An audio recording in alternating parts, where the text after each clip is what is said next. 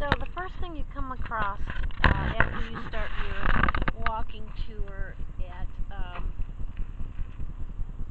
in Concord um, of the Battle of 1775, here is the um, Whitmore House, and it's a one of 11 what they call witness houses.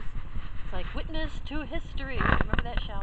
And um, it's so they call them witness houses because they actually witnessed what happened. So here's the first one. Um, it's one of 11 witness houses standing uh, and still standing today. Um, it, that was standing on April 19, 1775. Um, in this house, um, Jacob and uh, Esther Whitmore lived. His daughter, Sarah, and her husband Moses Reed, and the younger couple's three children. Sarah was dangerously ill after childbirth, and her husband Moses, though a member of the militia, chose instead to safeguard his family. And so he took them into the swamp near here and waited for the road to be cleared after the battle. Uh, and they all survived and, um, and did well. Um, and he joined the Continental Army.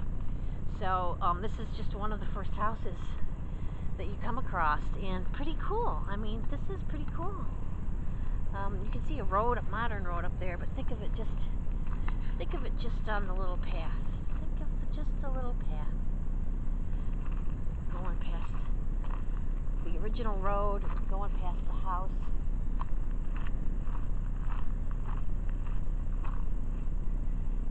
Oh, we got electricity on the barn. okay.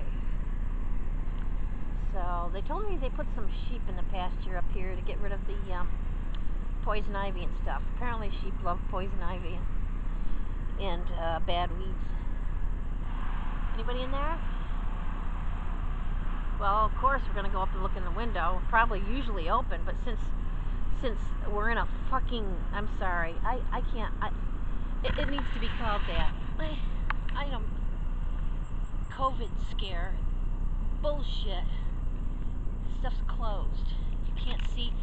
The kids can't go in and buy their little and learn about stuff, and I mean it's just terrible. So that's a nice little room. Hey, this is in good shape. I actually stayed in, in an Airbnb that was in worse shape than this. Um, so, well, it's in good shape. If you can see it.